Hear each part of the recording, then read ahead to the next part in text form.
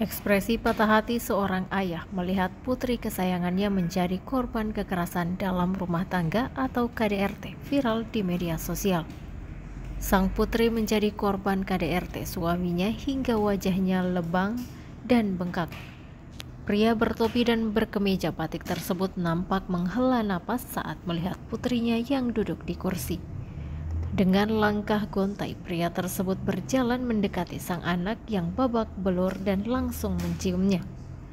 Video tersebut viral di media sosial. Korban nampak mengenakan jaket hitam, rambutnya diikat ke belakang hingga wajahnya yang babak belur terlihat jelas. Matanya pun hanya dapat terbuka sedikit karena tertutup bengkak.